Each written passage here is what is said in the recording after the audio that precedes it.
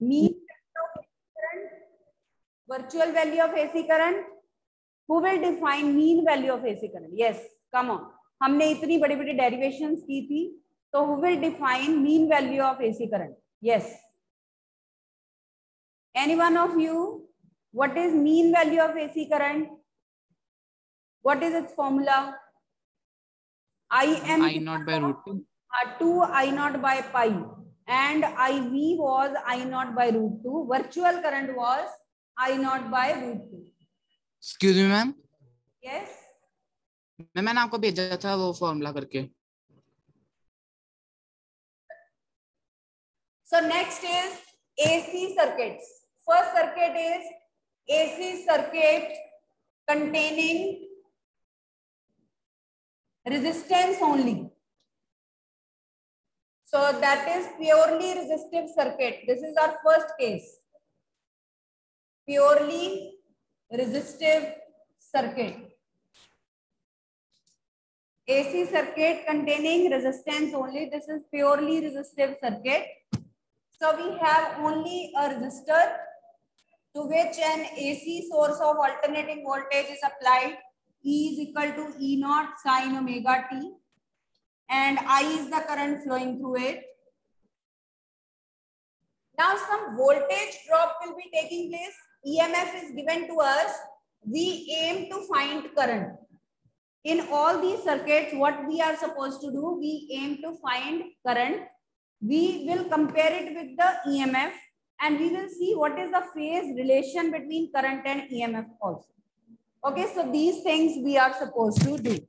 E is equal to E naught sine omega t. All right. And uh, after that, what is the voltage drop taking place across the resistor when the current will be passing through it? That is given by V is equal to IR.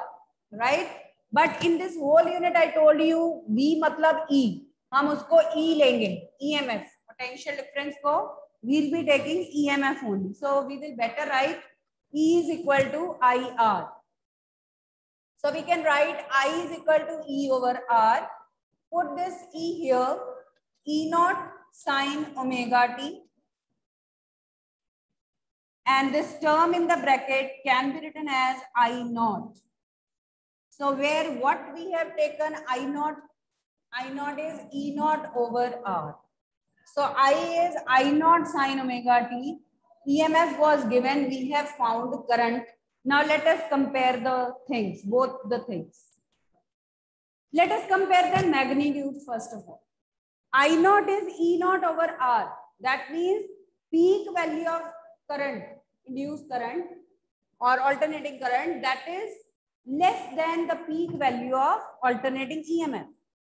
ठीक है तो peak value current का जो magnitude है वो EMF से कम है because it is divided by something let us compare their phase relationships यहाँ पे भी साइन ओमेगा टी है यहाँ पे भी साइन ओमेगा टी है that means there is no phase difference between them so phase difference is zero degree that means both current and emf are in the same phase please note it down what is the phase difference in purely resistive circuit between current and emf that is zero degree they are in the same phase Current and EMF, they are in the same phase. So this is how we can plot a graph as well. This is how we can plot a graph for E and I. So आपकी ये sine curve है E is equal to E naught sine omega t. This is a sine curve. This is the magnitude peak value of EMF. ठीक है ये अगर आपकी EMF के लिए ग्राफ है then for current for current graph will look like in the same phase it will be, but its magnitude should be smaller. Phase difference should be same, but magnitude should be smaller. So this is I naught. Peak value of current is I naught. So we have drawn their graph, graph of variation of E and I that we have shown. We have indicated their peak values Okay, we have indicated their peak values. Now we will draw phasor diagram also. This is new diagram that we are introducing here. एक तो graph बनाना है in each case next is phasor diagram also we have to draw. Phasor diagram. Now what is a phasor?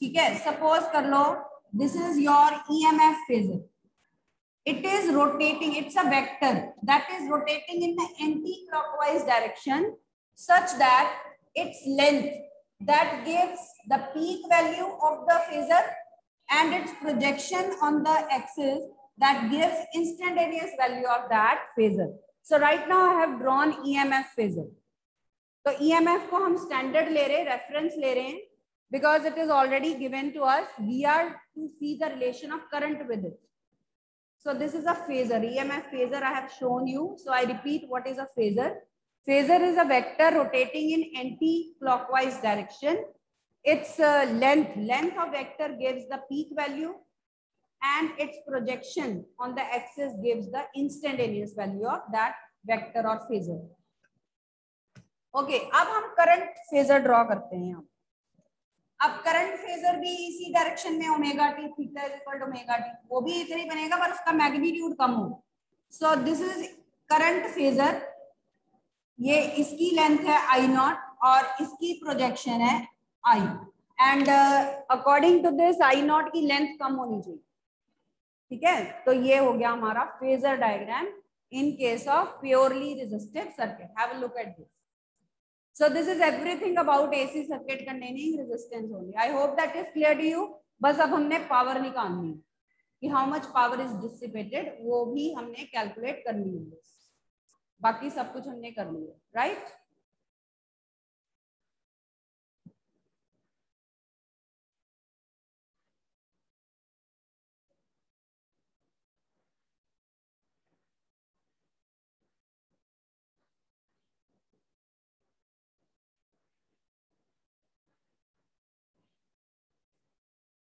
Fine चलिए अब power calculate करते हैं। Let us calculate power average power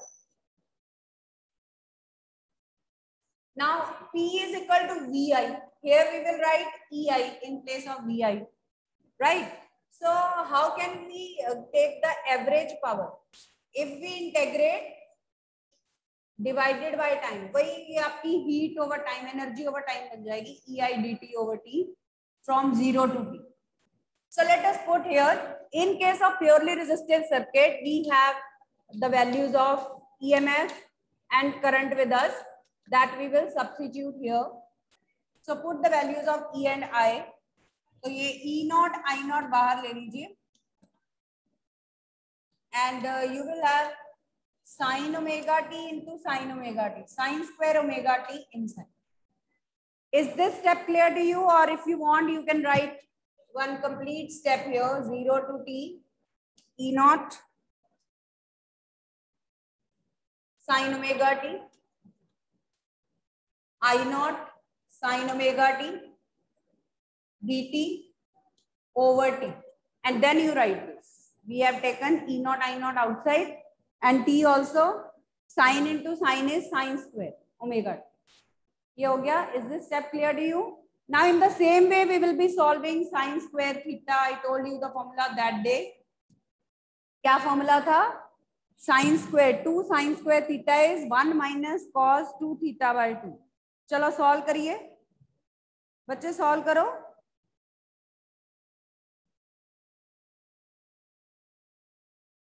चलो करो ये इंटेग्रल सॉल्व मुझे बताइए क्या आंसर आ रहा है? उस दिन सेम इंटेग्रल हमने सॉल्व किया था।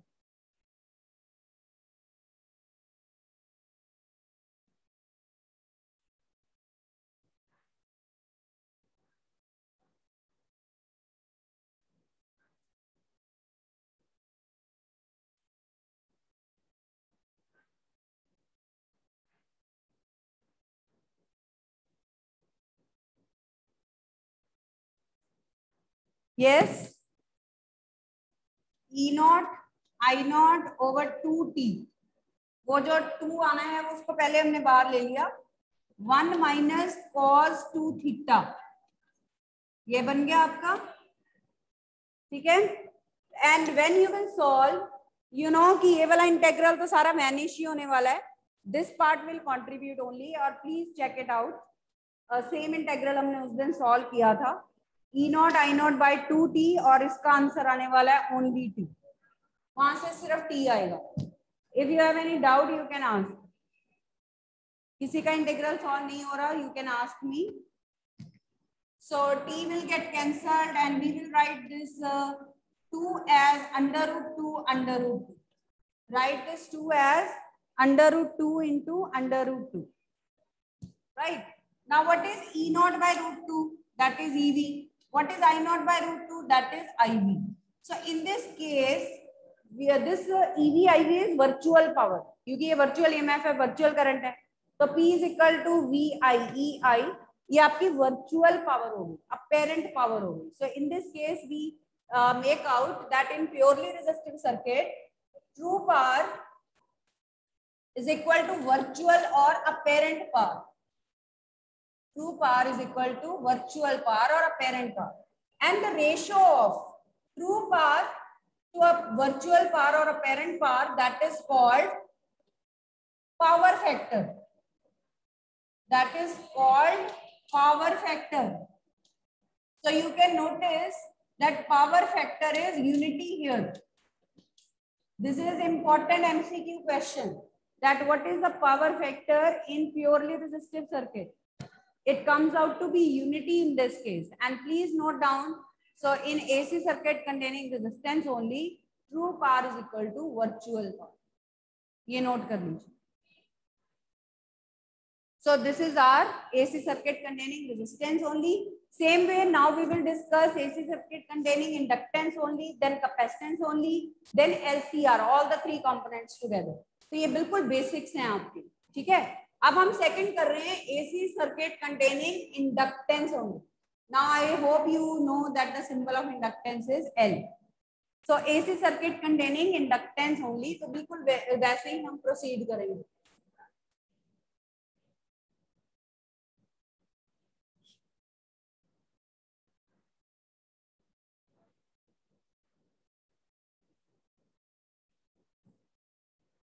Now we have an inductor. of inductance L connected to AC source of EMF E is equal to E naught sine omega t.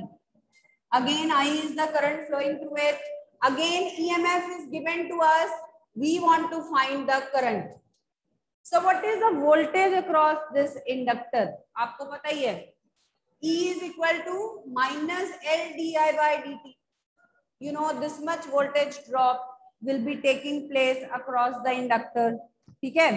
और इसको कैपिटल ही e ले लो, क्योंकि हमने यहाँ पे सिंबल एफ़ का कैपिटल ही e ले लिया। So what will be d i minus E by L d t cross multiply because we want to find current now put this F here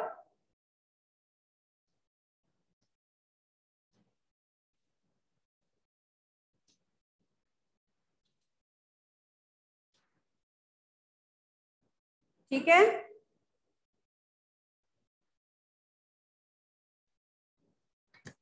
so integrate both sides to find the total current what is integral sin omega t integral sin omega t क्या होता है minus cos omega t over omega ठीक है ये यहाँ पे आप ऐसे करिए drop this negative sign here because this is induced EMF ये इंड्यूस ईएमएफ है। वोल्टेज ड्रॉप उसके ऑपोजिट होगा। तो यहाँ पे ड्रॉप कर दीजिए नेगेटिव से so you have I is equal to E naught over omega L cos omega t now let us say that this term in bracket is I naught so we can compare I is equal to I naught cos omega d अब cos को आप लिख सकते हो sine omega t minus five by two क्योंकि ये sine की terms में we also want to express I in terms of sine because we have to make a comparison of their phase differences also तो उसके लिए इसको भी sine में कन्वर्ट करना कंपल्सरी है। Right so this is your current equation where what is I naught you have taken I naught equal to E naught by omega L तो पहले यहाँ तक देखिए then we will comment that how we can compare current and EMF first have a look at this small derivation. How did we do it?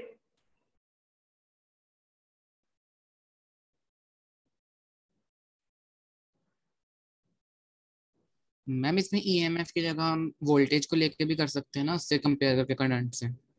देखो यहाँ पे हम voltage को ईएमएफ ही ले रहे हैं ना। ऑल्टरनेटिंग जो ईएमएफ होती है ऑल्टरनेटिंग है उसको हम वोल्टेज नहीं हम उसको ईएमएफ ही बोलेंगे। ऑल्टरनेटिंग ईएमएफ ऑल्टरनेटिंग वोल्टेज नहीं हम टर्म यूज़ करते। So wherever in this unit we will have we we will replace it by E ठीक है? ओके मैम चलिए यहाँ तक क्लियर है? अब इसको डिस्कस करते हैं। मैग्नीट्यूड देखो पहले। I is equal to V over R होता है। That means this term is having dimensions of resistance ये रेजिस्टेंस के इक्विवेलेंट है।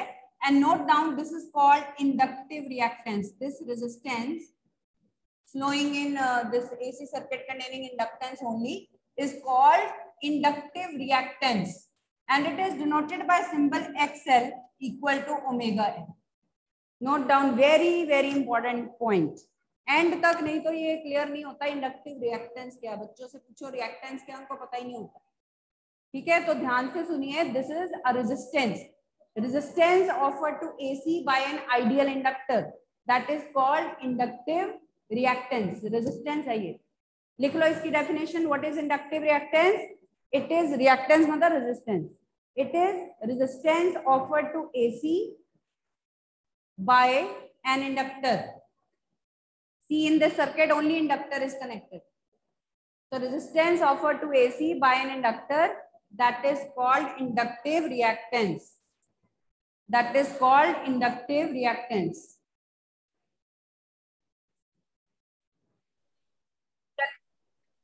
So XL is omega L and omega you know is 2 pi nu.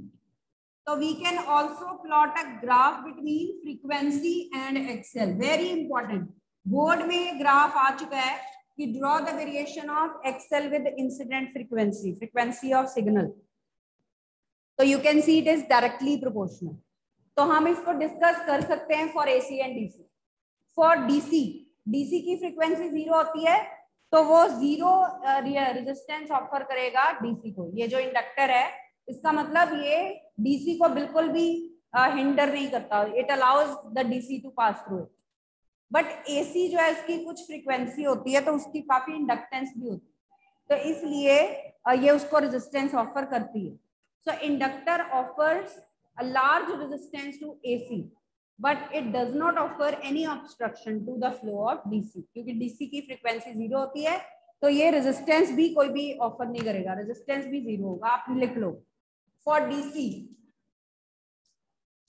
frequency zero, so reactance is also zero, right? Now we are to draw the graph between e and i and also we are to draw the phasor diagrams. ठीक है? चलिए अब graph बनाते हैं। और again I naught is E naught divided by something तो current की peak value फिर से कम है ईएमएफ से। Let us plot graph now ये हमारा फिर से स्टैंडर्ड ले लिया हमने ईएमएफ का। ये ईएमएफ हो गई ये उसकी पीक वैल्यू हो गई ई नॉट पहले ईएमएफ प्लॉट कर लीजिए। देन करंट देखो। हाँ हमने फ़ेज़ रिलेशंस पे कमेंट नहीं दिया। ईएमएफ का रिले फ़ेज़ डिफरेंस है ओमेगा टी और करंट है omega t minus pi by 2. So this is very, very important result that in AC circuit containing inductance only, current lags behind the EMF by 90 degree. Current lags behind the EMF by 90 degree. Note kar lijiye. Very important. What is the phase difference between current and EMF here? 90 degree. And who lags? कौन पीछे रह जाता है current current is lagging behind by 90 degree और ये आपकी जो equation है वो है minus cos omega t minus cos omega t ठीक है? तो आपकी यहाँ पे करंट की जो कर्व बनेगी, वो कोसाइन कर्व का ऑपोजिट होगा minus cos omega so how will you do that cosine curve ऐसे होती है तो आप इसको ऐसे बनाओगे और उसका मैग्नीट्यूड कम रखोगे। Like this. So this is your current graph, current vector and this is the peak value of current. तो हमने ईएमएफ e को साइन कर्व से प्लॉट किया और जो हमारी करंट है, उसको हमने माइनस को साइन कर्व से इंडिकेट कर दिया। So this becomes our graph तो ये लैगिंग बिहाइंड बाय 90 डिग्री है। 90 डिग्री लेट स्टार्ट हो रही है।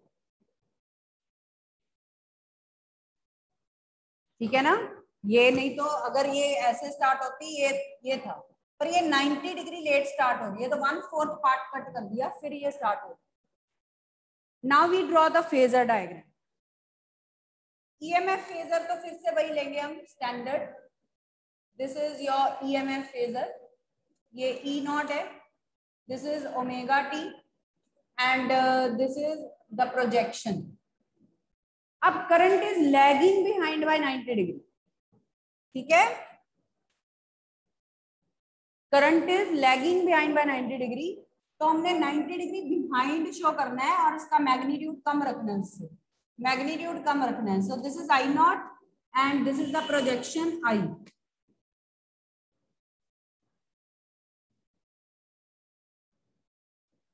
ठीक है?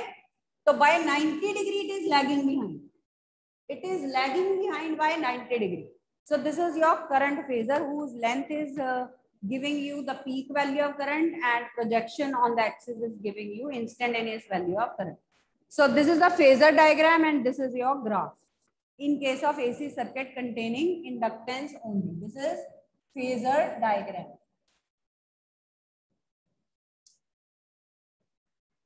ठीक है क्लियर अब पावर भी निकाल लेते हैं। Power consumed by ideal inductor heading दे दीजिए। Average power consumed by an ideal inductor average power consumed by an ideal inductor तो वही P is equal to integral zero to t E I d t by t E M F क्या है यहाँ पे? E naught sine omega t and current is convenient to take here minus I naught cos omega t. So put both the values here. E naught I naught और t को बाहर ले लीजिए zero to t sin omega t cos omega t dt. Sin omega t cos omega t dt. Is this step clear to you? Any doubt you can ask? How we have substituted the values? अब two से multiply कर दो two से divide कर दो। This becomes two sine theta cos theta two sine theta cos theta is sine two theta that is sine 2 theta. So, power is minus E naught, I naught by 2t sine 2 omega t dt. अब इसको कैसे solve करना है? इस integral को। Minus E naught, इसका हो गया minus cos two omega t over two omega within the element zero to t. चलिए अब इसको सॉल्व करते हैं। Let us solve now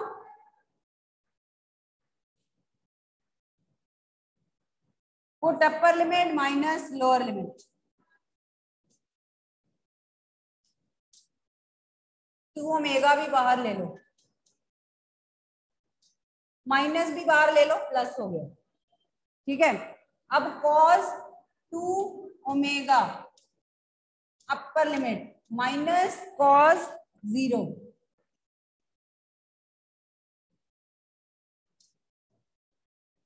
ठीक है? I have substituted upper limit minus lower limit T is equal to E naught, I naught over 4T omega cos 4 pi minus cos zero cos four pi भी zero one होता है and cos zero भी one होता है so this integral vanishes so that means very interesting result we are having that uh, an ideal inductor does not consume any power An ideal inductor does not consume any power. So that's why current flowing through an ideal circuit, ideal inductor is zero. ठीक है current flowing through ideal inductor is called wattless current because it consume no power power का unit watt होता है ना तो no power mean wattless so current flowing through ideal inductor is called wattless current please note it down what is this term wattless current powerless means power consumed by an ideal inductor is zero so current flowing through ideal inductor is called wattless current.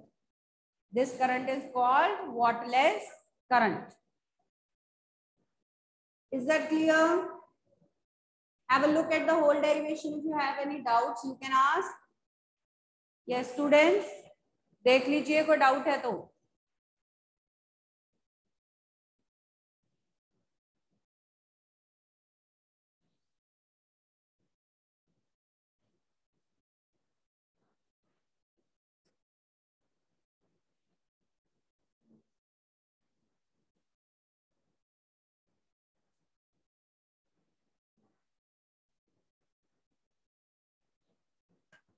Fine. So this is all about AC circuit containing inductance only. ठीक है हाँ जी वरुण बोलो